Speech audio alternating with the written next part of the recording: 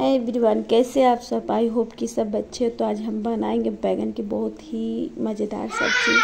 तो यहाँ पे देखिए, दोपहर हो चुका है और मैं चली किचन में बनाने के लिए। तो यहाँ पे मैंने थोड़ा सा परवल था, उसे परवल और प्याज को फ्राई कर रही हूँ। और जा रही हूँ बैगन बनाने, बैगन की सब्ज़ी। तो देखिए, मैंने यहाँ पे दो छोटे छोटे बैगन लिए हैं। इसकी बहुत ही मज़ेदार सब्ज़ी बनाएँगे। तो यहाँ पे मैंने धो के कट कर लिया है।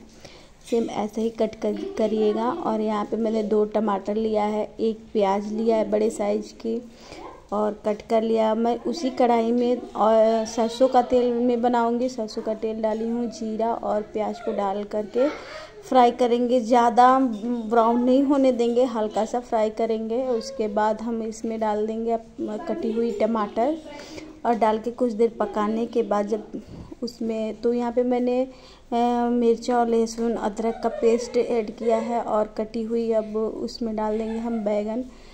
तो बहुत ही मज़ेदार सब्ज़ी बन के तैयार होगी होती है। यहाँ पे मैंने स्वादानुसार नमक डाला है, हल्दी, गरम मसाला, जीरा, धनिया पाउडर और रेड चिली पाउडर।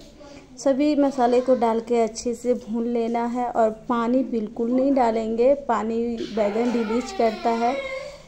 तो मैं ऐसे ही पकाऊँगी। अगर आप चाहते हो पानी थोड़ा सा डाल के पकाएँ तो आप पका सकते हैं बट मुझे ऐसे ही पकाना है। तो यहाँ पे देखिए, मेरा बिल्कुल बन के रेडी हो गया, बहुत ही मज़ेदार।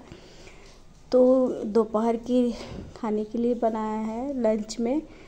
तो बताइए, कैसा, देख करके कैसा लग रहा है? और प्लीज़ ट्राई कीजिएगा प्लीज़ लाइक कमेंट शेयर ज़रूर कीजिएगा प्लीज़ प्लीज़ और ये रेसिपी कैसी लगी कमेंट बॉक्स में ज़रूर बताइएगा। बाय